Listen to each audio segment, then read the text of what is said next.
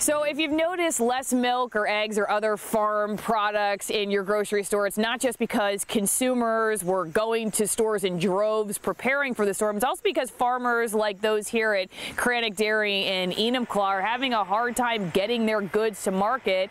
That's in part because the trucks have had issues getting to and from farms and to the grocery stores because of all the snow. Out here, they got 18 inches of snow over the last week. That means all kinds of precautions they have to take for keeping the cows safe, from making sure their water doesn't freeze over, to making sure the cows are comfortable. The snow that we've had these last few days has definitely created challenges, not just for dairy farmers, but all farmers. And we've had to plan ahead a lot with our feed, making sure our employees get come to work. But first and foremost is cow comfort. Do we leave the cows outside? Do they have enough to eat? Are their barns safe for them? Are they clean? And most importantly, we need to keep them on their regular milking schedule. We have to make sure if we don't have power, and our power went out a couple times, we have generator backup. We need to keep our milking parlor going.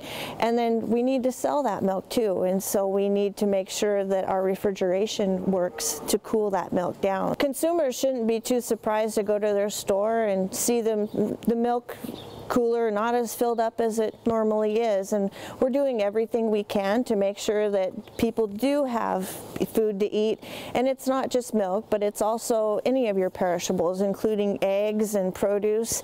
Uh, we're working on it. We're working hard. The folks here at Cranick Dairy say they're used to this kind of adversity. They got snow like this just two years ago. They're asking consumers to just be patient. They expect that it will all return to normal in about a week.